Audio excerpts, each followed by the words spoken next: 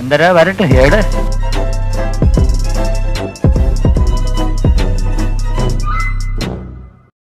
ആമസോണിൽ നിന്ന് വില കുറച്ച് കിട്ടിയപ്പോൾ ഒരു സാധനം വാങ്ങിച്ചടേ അപ്പോൾ നാദർഷ ഡയറക്റ്റ് ചെയ്ത് ജയസൂര്യ നായകനായ ഈശോ എന്ന പടം സോണി ലീവിൽ വന്നിട്ടുണ്ട്. അപ്പോൾ പതിവ് കോമഡി ചളി ട്രാക്കൊക്കെ മാറ്റി പിടിച്ചുകൊണ്ട് ഒരു സസ്പെൻസ് ത്രില്ലറാണ് നാദൃശ എടുക്കാൻ ശ്രമിച്ചത്. എങ്ങനെയായിരുന്നു? കൊള്ളാം. നല്ല ഡീസന്റായിട്ട് ഒരു കൊച്ചു ത്രില്ലർ നമുക്ക് വേണ്ടി ചെയ്തിട്ടുണ്ട്. നമ്മളൊക്കെ കേട്ടതാണല്ലേ ഒരുപാട് വിവാദങ്ങളുണ്ടായിരുന്നു. ഇതിന് ഈശോ എന്ന് പേരിട്ടേന്. ഈശോ എന്നുള്ള പേര് മാറ്റണം. അത് മതനിന്ദയാണ് ആനയാണ് ചാനയാണെന്നൊക്കെ പറഞ്ഞുകൊണ്ട്. പക്ഷെ പടം കണ്ടു കഴിഞ്ഞപ്പോൾ ഈശോ എന്നുള്ള പേര് പടത്തിലിടുന്നതിന് ഒരു കാരണമുണ്ട്. എന്തായിരുന്നു ആ കാരണം? എന്നാലും എന്തരായിരുന്നു തമ്പുരാൻ അറിയാം ഇപ്പം നല്ലൊരു പാട്ടോടുകൂടി പടം ഇങ്ങനെ തുടങ്ങിയാണ്. നല്ലൊരു പാട്ടായിരുന്നു. അത് കഴിഞ്ഞ് കുറച്ച് സീരിയൽ രംഗങ്ങൾ വരുന്നു അപ്പോൾ ഞാൻ വിചാരിച്ച് "ഓ, ചത്ത പടം അതും കൂടി കഴിഞ്ഞ് കുറച്ച് കഴിഞ്ഞപ്പോഴേക്കും നമ്മുടെ ജാഫർ ഇടുക്കിയുടെ എൻട്രി വരെയാണ്. അത് മുതൽ സിനിമ അങ്ങോട്ട് കാണാൻ ഒരു രസമുണ്ട്. അടുത്തെന്ന് സംഭവിക്കുന്നുള്ളൊരു ആകാംക്ഷയോടെ നമുക്ക് ബോറടിക്കാതെ കണ്ടിരിക്കാം.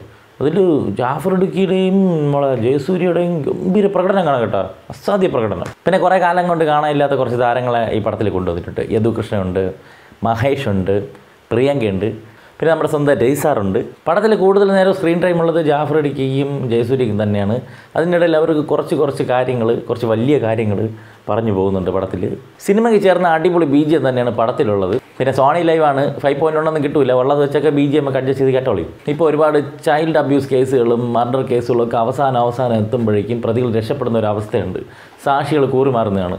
എങ്ങനെയാണ് സാക്ഷി കൂറുമാറുന്നത്? ഏത് സാഹചര്യത്തിലാണ് സംഭവിക്കുന്നത് എന്നുള്ളതൊക്കെ നല്ല രീതിയിൽ പടം വരച്ച് കാണിക്കുന്നുണ്ട്. പിന്നെ എന്ത് ന്യൂസ് കിട്ടിയാലും അതിന്റെ ഇമ്പാക്റ്റ് എന്താണ് ഉണ്ടാക്കുന്നതെന്ന് പോലും ചിന്തിക്കാതെ ആ കുടുംബത്തിനെ അത് എങ്ങനെ ബാധിക്കുമെന്ന് ചിന്തിക്കാതെ വലിയ തമ്പനേനും വെച്ചിട്ട് മറ്റേ കുടുംബത്തിന് അതിനുശേഷം സംഭവിച്ചതെന്ത്? കേരള ജനതയുടെ മനസാക്ഷി ഞെട്ടിച്ച സംഭവം. മറ്റേ കൊലപാതകത്തിന് കാരണം ഇവർ തമ്മിലുള്ള അവീത ബന്ധമോ? എന്നൊക്കെ പറഞ്ഞിട്ട് കുറേ രക്തമൊക്കെ വാരി വതറി തമ്പനിയിലൊക്കെ ഉണ്ടാക്കി വിടുന്ന കുറേ മഞ്ഞപ്പത്രങ്ങളുണ്ടല്ലോ ഓൺലൈൻ പോർട്ടലുകൾ അവന്മാരൊക്കെ നൈസായിട്ട് തേച്ച് വെച്ചിട്ടുണ്ട് പടം. ഇത് ഒ ടി ടിയിൽ ഇറക്കിയത് വളരെ നല്ല തീരുമാനമായിരുന്നു. ഇത് തിയേറ്ററിൽ ഇറക്കിയാൽ ആരും പോയി കാണാനൊന്നും പോണില്ല. കൊള്ളാമെന്ന് നല്ല അഭിപ്രായം വന്നാലും ഈ ടൈപ്പ് പടത്തിലൊന്നും ആൾക്കാർ കയറുന്നില്ല ആൾക്കാർക്ക് ഒന്നിൽ കോമഡി ഇല്ലെങ്കിൽ ഭയങ്കര ബ്രഹ്മാണ്ട് അതൊക്കെ മതി ഇപ്പം. ആൾക്കാർ സെലക്റ്റീവ് ആയിട്ടാണ് സിനിമയ്ക്ക് പോകുന്നത്.